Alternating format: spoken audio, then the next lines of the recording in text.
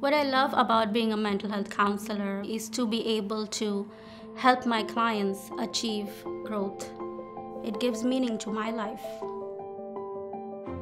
The doctoral program in mental health counseling focuses on every student becoming an advocate for the field of mental health counseling, where you're not just helping clients or teaching, but you're also influencing the policy and the decision making about the profession.